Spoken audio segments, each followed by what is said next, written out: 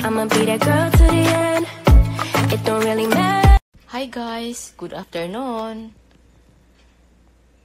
Magawa ako ngayon ng kimchi chu. Ito na ang mga sangkap ko guys. Tapos na siya. Ito ang kimchi cabbage. Ito ang tuna. Green pumpkin. Tofu. Mushroom. Onion. And garlic. So, ang gagawin natin, magpakulo tayo ng tubig ng tatlong baso. Yung malaking baso na ginagamit ng coffee, yan ang ginagamit ko. So, ang una kong ilagay ay ang cabbage, ang kimchi. So, ito, kumulo na ang tubig, ilagay ko una ang cabbage. Then, pakuloyin.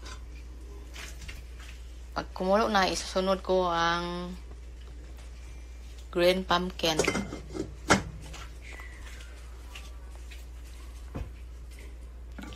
Pakuluin natin ng 4 minutes. So, kumulo na siya ulit. Ilagay ko ang tofu.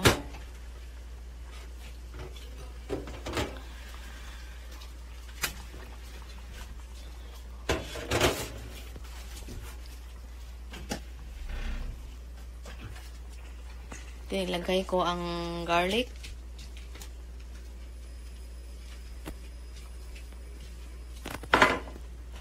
Ilagay ko ang onion. Then, pabukalin ulit para ilagay ang green pumpkin. Within 5 minutes. So, kumulo na ulit guys. Isunod ko na i lagay ko na ang green pumpkin.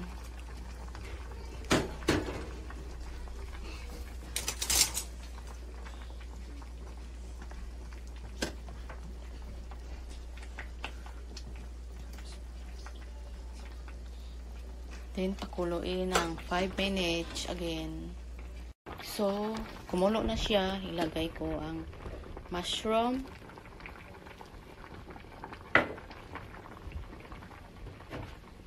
At saka tuna.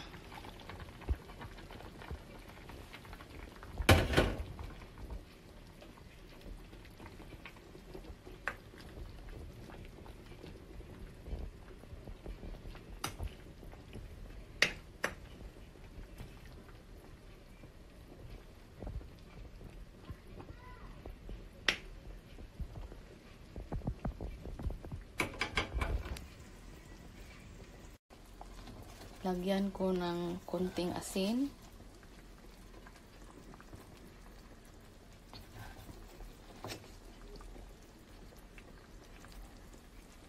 Two teaspoon. Lagyan ko ng tasida. One tablespoon.